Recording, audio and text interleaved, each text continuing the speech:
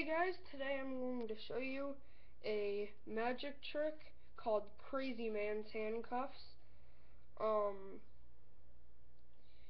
not a touch, unfortunately. Um, but Crazy Man Handcuffs is a pretty good trick.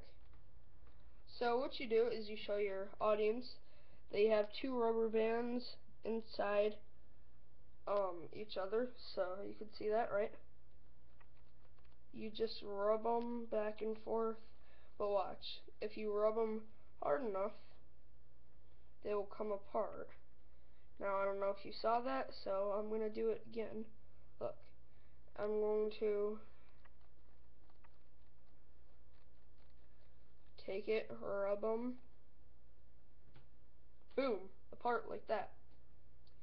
Now, I really hope you guys enjoyed that. Um, I'll do a tutorial on this one, but there is one rubber band trick coming up that I'm not going to reveal. Okay? Um, that's going to be very rare because I'm going to reveal most of my tricks. I'm just not going to reveal any good tricks. Okay? Um, well, not any, like, really, really, really good tricks, like pro tricks. Like, the secret of levitation, I'm not going to reveal. Like, really, really, really good tricks, like Criss Angel tricks, like tricks that Criss Angel wouldn't reveal. Those are the tricks I'm not going to reveal. So, yeah, um, I'm sorry, I just respect really good tricks. Um, now, this is a really good trick, but I mean, it's just, you know, some other tricks are just too good to be revealed, okay?